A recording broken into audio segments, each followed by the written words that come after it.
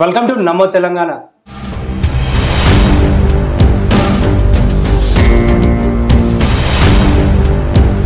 ప్రధానంగా ఈరోజు మైగ్రేన్ అనే అంశం పైన మాట్లాడబోతున్నాం. మైగ్రేన్ ఏ స్థాయిలో ఎవరికి వస్తుంది? మైగ్రేన్ అంటే ఏంటి? అనే అంశంపై మనతో మాట్లాడడానికి సీనియర్ న్యూరో డా న్యూరో ఫిజిషియన్ డాక్టర్ చక్రపాణి గారు మనతో పాటు ఉన్నారు. ఆయన ఎంతో సేవలు నిజామాబాద్లో అందిస్తున్నారు.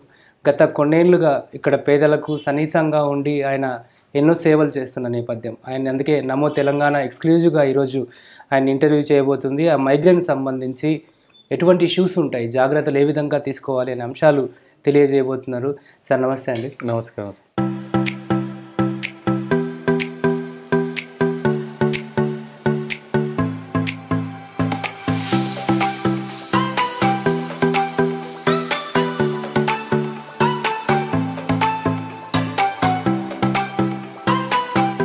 Doctor Chakra B Chakrapani working as a neurophysician in Nizamabad. నిజామాబాద్లో న్యూరోఫిజిషియన్గా గత పది సంవత్సరాల నుంచి ప్రాక్టీస్ చేస్తున్నాను.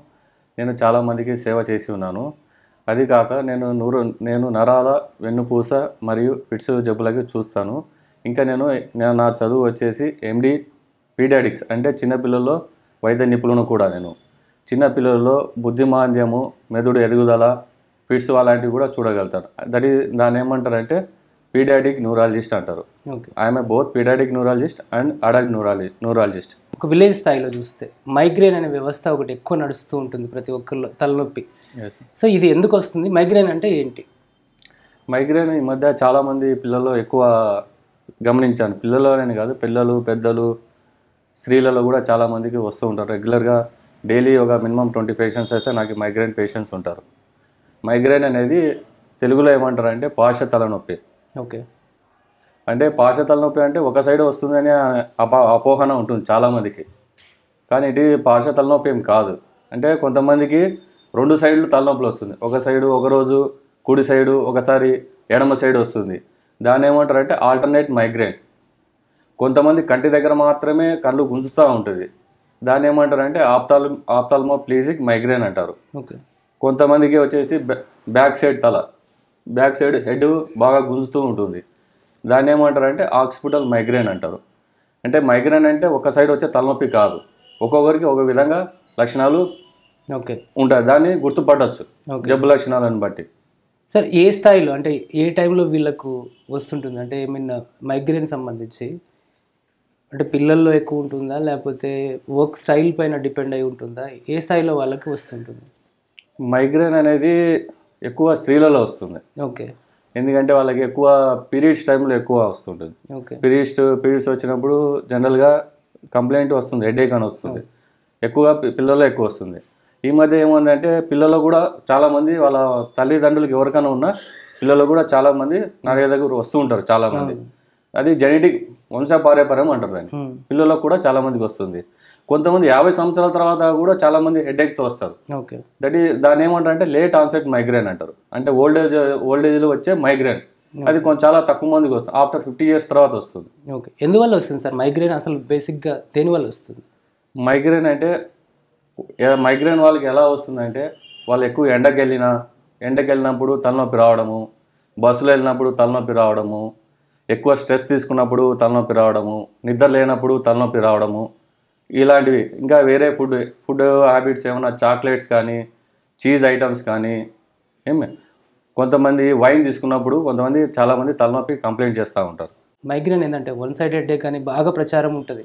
ఇది ఒక వన్ వీక్ కంటిన్యూగా మార్నింగ్ లేయంగానే రావడము ఈవినింగ్ వరకు ఉండడము అంటే సన్ పెరుగుతున్న కొద్దీ కొంచెం రావడము తర్వాత ఈ దీనికి రెగ్యులర్ తలనొప్పికి తేడాలు ఏమైనా ఉంటాయా?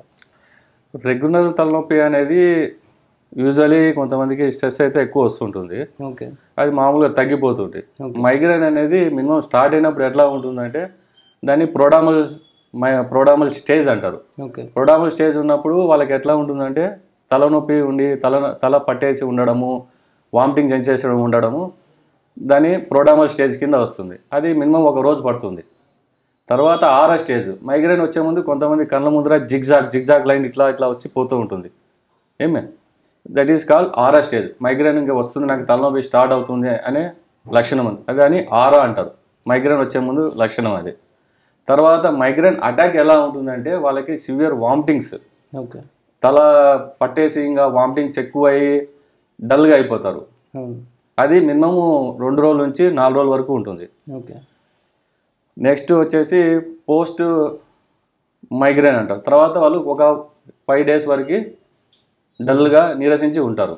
ఓకే. దాన్ని పోస్ట్ డ్రోమల్ స్టేజ్ అంటారు. ఓకే ఇది బాలికల్లో అంటే లేడీస్లో కానీ జెంట్స్లో కానీ ఏ ఏజ్ వాళ్ళకి ఎక్కువ ఉంటుంది సార్ ఇది? ఏజ్ వచ్చేసి ఎడ్యుకేషన్ పీరియడ్ మెయిన్గా. ఎడ్యుకేషన్ పీరియడ్ ఈ మధ్య నేను ఎక్కువ స్టూడెంట్స్ నా దగ్గర ఎక్కువ వస్తుంటారు. మెయిన్గా కారణం ఏమంటే ఒత్తిడి. ఓకే. ఒత్తిడి ఒత్తిడి ఉన్న వాళ్ళకి stress. Stress is added factor for migraine. Okay. ఇంకొక స్ట్రెస్సే కాదు సరిగా నిద్రపోకపోవడము ఏమే?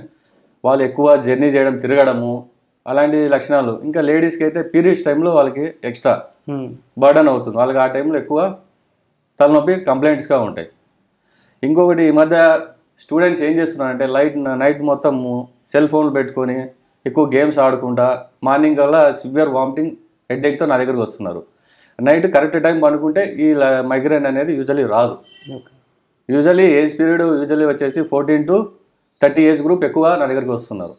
పిల్లలు అనేది సెల్ ఇప్పుడు కామన్ అయిపోయింది అందరు వాళ్ళ వాళ్ళకి ఎటువంటి జాగ్రత్తలు తీసుకోవాలి? ఎందుకంటే ఈ సెల్ ఫోన్ అనేది టెక్నాలజీ పెరిగే కొద్దీ రోగాలకు దారితీస్తుంది మేజర్గా మైగ్రేన్. వాళ్ళు ఎటువంటి జాగ్రత్తలు తీసుకోవాలి? ఈ మధ్య ఏముందంటే తల్లిదండ్రులు పిల్లలకి పెంచలే పెంచడము అనేది కొంచెం వాళ్ళకి ఇబ్బంది ఏమవుతుంది వాళ్ళ చేతిలో చెల్లి ఇచ్చేసి వదిలేస్తున్నారు. ఆ పిల్లోడు వచ్చేసి టూ ఇయర్స్ బాబు. మన లాస్ట్ టూ ఇయర్స్ బాబు నేను డయాగ్నోజ్ చేశాను మైగ్రేన్ మీరు ఎలా చెప్తారు? మైగ్రేన్ అంటారు వాళ్ళు. ఓకే. అంటే తల్లిదండ్రులకి హిస్టరీ ఉంటుంది అప్పుడు. బాబు కూడా ఎప్పుడైనా జర్నీ చేసినప్పుడు వామిటింగ్ కార్లో వెళ్ళినప్పుడు వామిటింగ్ చేసినప్పుడు తలనొప్పి వచ్చినప్పుడు సుస్తు వచ్చి పండుకోవడము ఉంటుంది.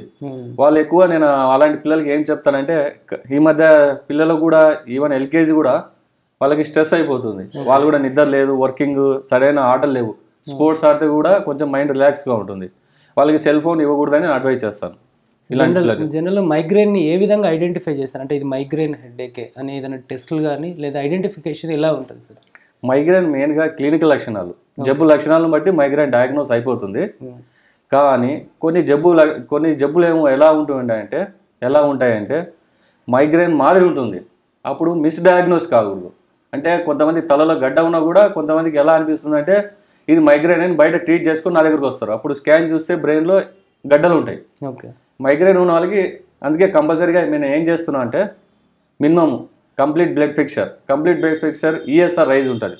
కొన్ని ఇన్ఫెక్షన్ కానీ బ్రెయిన్ ట్యూమర్లో కానీ ఈఎస్ఆర్ అనేది రైజ్గా ఉంటుంది. అలాంటి వాటికి కంప్లీట్ బ్లడ్ పిక్చర్ చేస్తాను.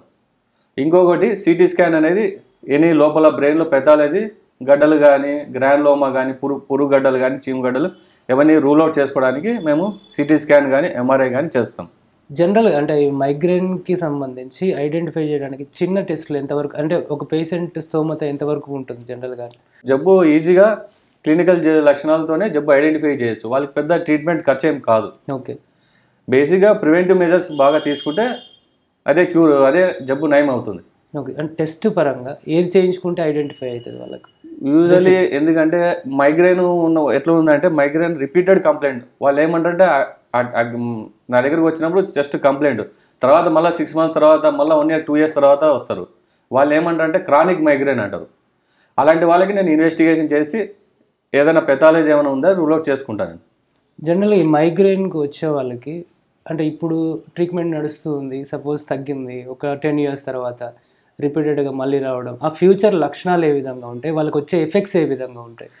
నేను వాళ్ళకి చెప్తాను యూజువలీ ఇది కంటిన్యూగా జీవితాంతం అనేది ఉంటుంది. కానీ సర్టెన్ ఏజ్ తర్వాత ఫిఫ్టీ ఇయర్స్ తర్వాత యూజువలీ తగ్గుకుంటా పోతుంది. ఓకే. వాళ్ళకి జీవితాంతం అనేది ఉంటుంది. రిపీటెడ్ అటాక్స్ వస్తాయి. అటాక్స్ వచ్చినప్పుడు మీరు ట్రీట్మెంట్ తీసుకుంటే మంచిదని చెప్తాను. నేను మినిమం ట్రీట్మెంట్ వచ్చేసి సిక్స్ మంత్స్ అడ్వైజ్ చేస్తాను. సిక్స్ మంత్స్ తర్వాత మళ్ళీ మీరు తగ్గితే బంద్ చేయండి. తర్వాత మళ్ళీ ఫ్యూచర్లో కూడా అటాక్స్ వస్తుంది. కొంచెం జాగ్రత్తగా ఉండి ఉండండి చెప్తాను. మళ్ళీ పరీక్ష టైంలో కూడా నేను వాళ్ళకి జాగ్రత్త చెప్తాను. ఎస్పెషల్లీ పరీక్ష టైంలో నేను I advise minimum two months ఎందుకంటే వాళ్ళ మొత్తం వాళ్ళ వన్ ఇయర్ స్టడీ వేస్ట్ అవుతుంది. ఆ ఎగ్జామ్ టైంలో ఏమవుతుందంటే సివియర్ హెడేక్ వచ్చేసి వామిటింగ్ చేసుకొని ఎగ్జామ్ రాయకుండా పోతారు. ఎందుకంటే నా ఫ్రెండ్స్ ఈవెన్ డాక్టర్స్ కూడా చాలా మంది మైగ్రేన్తో సఫర్ అవుతుంటారు. ఆ టైంలో వాళ్ళు ఎగ్జామ్ రాయలేక ఎగ్జామ్ మిస్ చేసిన వాళ్ళు చాలా మంది ఉన్నారు. నేను యూజువల్లీ ఎగ్జామ్ టైం అప్పుడు కంపల్సరీ రమ్మని చెప్తాను టూ మంత్స్ మినిమం తీసుకోండి. ఎగ్జామ్ అయిపోయిన తర్వాత మళ్ళీ తగ్గించి డోస్ తగ్గించేసి బంద్ చేద్దామని చెప్తాను. వాళ్ళంటి వాళ్ళకి నేను ఏం చేస్తానంటే ప్రివెంటివ్ మెజర్స్ అడ్వైజ్ చేస్తాను. మిగతా టైంలో సిక్స్ మంత్స్ కోర్స్ అయిన తర్వాత ప్రివెంటివ్ మెజర్స్ అనేది. కరెక్ట్ టైంకి నిద్రపోవడము కరెక్ట్ టైంకి తినడము సెల్ ఫోన్ బంద్ చేయడము ఏమే? Yoga okay. Meditation okay. Yoga meditation walking చేస్తే మైండ్ రిలాక్స్గా ఉంటుంది. మైండ్ రిలాక్స్గా ఉంటే ఆటోమేటిక్గా హెడేక్ కూడా కంట్రోల్ అవుతుంది. ఓకే. అంటే ఐ మీన్ నాకేందంటే దీంట్లో డౌట్ మైగ్రేన్ వచ్చిన తర్వాత సో వాళ్ళ ప్రెజర్లో ఉంటారు. ప్రెజర్లో ఉన్నప్పుడు వాళ్ళకి ఏమైనా సివియర్ హార్ట్ అటాక్స్ కానీ రకరకాల సైడ్ ఎఫెక్ట్స్ కానీ వచ్చి ఆ ప్రెజర్లో ఇంకా మైగ్రేన్ పెరుగుతుందా ఏమైనా? మైగ్రేన్ వాళ్ళకి స్ట్రెస్ స్ట్రెస్లో మైగ్రేన్ అనేది ఎక్కువ అవుతుంది. ఓకే. ఇలాంటి మైగ్రేన్ లక్షణాలు ఫ్యూచర్లో వాళ్ళకి ఎలాంటి జబ్బులు ఉంటాయంటే పీరియడ్స్ సరిగా ఉండకపోవడము లేడీస్లో అవుతాయి ఓకే. ఇలాంటి మైగ్రేన్ నా దగ్గరకు వచ్చిన పేషెంట్స్కి నేను అబ్జర్వ్ చేయడం ఏమంటే పీరియడ్స్ సరిగా రాకపోవడం మైగ్రేన్ పేషెంట్ వాళ్ళకి నేను గమనించాను. వాళ్ళు నా దగ్గర వచ్చిన పేషెంట్ నేను అబ్జర్వ్ చేసినాను వాళ్ళకి ఎర్లీగా స్ట్రోక్ వచ్చింది. దాన్ని స్ట్రోక్ ఇన్ యంగ్ అంటారు.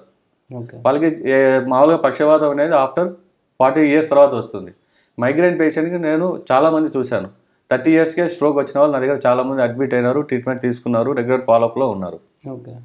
సో వీళ్ళకి ఏ విధంగా ముందే జాగ్రత్తలు తీసుకోవాలి సార్? ఒకవేళ స్ట్రోక్ వచ్చింది అనుకోండి ఆ సిమ్టమ్స్ ఎలా ఏ విధంగా ఉంటాయి? లేకపోతే వాళ్ళు ఏ విధంగా కేర్ తీసుకోవాలి? మైగ్రేను అనేది స్ట్రోక్ అనేది కొంచెము కన్ఫ్యూజింగ్ మ్యాటర్ ఓకే. మైగ్రేన్ ఉన్నప్పుడు ఒక సైడ్ బాడీ మొత్తం మొద్దుబారినట్టు ఉంటుంది. ఓకే. మైగ్రేన్ నా దగ్గరకు వచ్చినప్పుడు కొంతమంది పేషెంట్స్ వస్తారు. సార్ ఒక సైడ్ మొత్తం మొద్దుబారుతుంది చేయి కాలు అంటారు. ఓకే. అది స్ట్రోక్ అయినా ఉండొచ్చు. అంటే స్ట్రోక్ అంటే పక్షవాతం వచ్చే లక్షణాలైనా ఉండొచ్చు. మైగ్రేన్లో సెన్సరీ సిమ్టమ్ అంటారు. దట్ ఈస్ కాల్ ఆరా అంటారు. ఓకే. ఒక సైడ్ పారాస్థీషియా అనేది ఆరా అంటారు. ఒక సిమ్టమ్ ఆఫ్ మైగ్రేన్ అది. అప్పుడు కన్ఫ్యూజింగ్ ఉంటుంది ఆ టైంలో నేను ఏం చేస్తానంటే ఇన్వెస్టిగేషన్ చేసి రూల్ అవుట్ చేసుకుంటాను ఆ టైంలో ఏమైనా బ్రెయిన్లో బ్లడ్ క్లాట్ ఉందంటే you treated as a stroke okay. Otherwise నేను మెడికేషన్ అడ్వైజ్ చేసి పంపిస్తాను. ఫైనల్గా సార్ అంటే ఈ మైగ్రేన్ కానీ రకరకాలుగా వచ్చే ఈ ఇష్యూస్ పైన. వాళ్ళు ఏ విధంగా ఏమేమి డైట్ మెయింటైన్ చేయాలి ఏ విధంగా కంట్రోల్ చేసుకోవాలి? డైట్ అనేది వాళ్ళకి పొద్దున ఎర్లీ మార్నింగ్ లేచినట్టునే వాకింగ్ చేయడము కొన్ని యోగా క్లాసెస్కి వెళ్ళమని చెప్తాను మెడిటేషన్ చేయమని చెప్తాను. ఇవి కూడా ఇవి చేయడానికి కూడా టైం లేకపోతే ఏం చెప్తానంటే మైండ్ రిలాక్స్గా పెట్టుకోనండి స్ట్రెస్ తీసుకోవద్దండి. కరెక్ట్ టైంకి తినండి కరెక్ట్ టైంకి నిద్రపోండి. ఏమే? మూ ఎక్కువ కంప్యూటర్ దగ్గర కూర్చొని దే ఆర్ ఎక్స్పోజింగ్ లైట్ ఫో లైట్ ఫోకస్ నేను కంప్యూటర్ దగ్గర ఎక్కువ కూర్చోవద్దు. ఇక నా దగ్గర చాలామంది ఇంజనీర్స్ వస్తారు. నేను వాళ్ళకి చెప్తాను సార్ కంటిన్యూ కూర్చోవడం వల్ల నాకు హెడ్ఏక్ సివియర్ అవుతుంది. చెప్తాను బ్రేక్ తీసుకోండి. మధ్య మధ్యలో కంప్యూటర్ జాబ్ చేసేటప్పుడు లైట్ ఫోకస్ వల్ల ఏమవుతుందంటే మైగ్రేన్ సివియర్ అటాక్ వచ్చేస్తుంది. నేను కొంచెం కొంచెం బ్రేక్ బ్రేక్ తీసుకొని మీరు వర్క్ చేసుకోండి. నైట్ టైం మళ్ళీ మీరు వర్క్ చేసుకున్న తర్వాత ఇంజనీర్స్ అయితే మళ్ళీ ఇంటికి వెళ్ళిన తర్వాత వాళ్ళు సెల్ ఫోన్ పట్టుకుంటున్నారు నేను అది అవాయిడ్ చేయమని చెప్తాను. ఫుడ్ హ్యాబిట్స్ ఏ విధంగా? ఫుడ్ హ్యాబిట్స్ అంటే మామూలు పిల్లలకి ఎక్కువ చాలా ఇంట్రెస్ట్ ఉంటుంది. చాక్లెట్స్ తినాలని. చాక్లెట్స్ తింటే మైగ్రేన్ చాలా మందికి ఎక్కువ అవుతుంది. చాక్లెట్స్ని అవాయిడ్ చేయమని చెప్తాను. ఇంకొకటి చీజీ ఐటమ్స్. ఇవి పెరుగుతో కానీ వెన్నతో చేసిన ఐటమ్స్ వల్ల కొంతమందికి మైగ్రేన్ వస్తుంది. ఈవెన్ కొంతమంది బిర్యానీ కూడా ఈ మధ్య నేను గమనించాను. బిర్యానీ స్మెల్ కూడా అవ్వదు. వంట రూమ్లోకి వచ్చేస్తేనే బయటకు వచ్చేసి తలనొప్పి వాంతిగా అవుతుంది. నాకు ఈ స్మెల్ పడట్లేదు అంటారు. వాళ్ళని అది అవాయిడ్ చేయమని చెప్తాను. ఇంకొకటి పర్ఫ్యూమ్స్ కూడా పడదు కొంతమందికి. పర్ఫ్యూమ్స్ కూడా వాళ్ళు పర్ఫ్యూమ్స్ చేసుకొని వస్తారు రెగ్యులర్గా ఈవెన్ పిల్లలు ఏం మన వాళ్ళ మన age group fourteen years twenty years వాళ్ళకి ఎక్కువ పర్ఫ్యూమ్ అలవాటు ఉంటుంది. నేను స్ట్రాంగ్ పర్ఫ్యూమ్స్ వాడ వాడొద్దండి.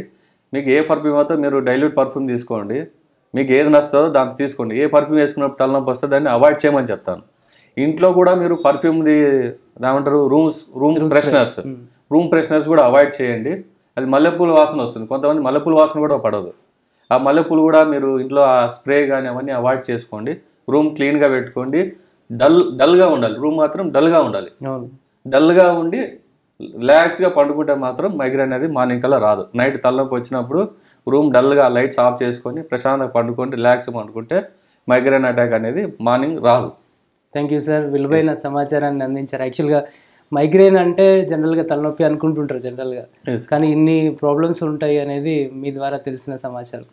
సో ఇది మనం చూసాం డాక్టర్ డాక్టర్ గారు చెప్పిన సలహాలు ఎంతో విలువైనవి. తప్పకుండా అందరు పాటించాలి. ఎందుకంటే తలనొప్పి అనగానే ఒక టాబ్లెట్ వేసుకోవడము అక్కడికి తలనొప్పి తగ్గిన వెంటనే వెళ్ళిపోవడం ఉంది. కానీ మనం మారుతున్న కాలానికి అనుగుణంగా మన అలవాట్లు కూడా మార్చుకొని ముందుకెళ్తే ఎటువంటి రోగాలు రావు అనేది డాక్టర్ గారు చెప్తున్న పరిస్థితి. మైగ్రేన్ సంబంధించి పూర్తిగా డైట్ మెయింటైన్ చేయడం కానీ టెక్నాలజీని వాడుతున్న సమయంలో కంటి చూపుకు తగ్గినట్టుగా వాడుకుంటే మైగ్రేన్ అనేది రాదు. అదే పిల్లల్లో కూడా ఫుడ్ హ్యాబిట్స్ మార్చుకుంటే అదేవిధంగా సెల్ ఫోన్ అలవాట్లు కూడా మార్చుకుంటే మైగ్రేన్ రాదు అనే విధంగా చెప్తున్నారు.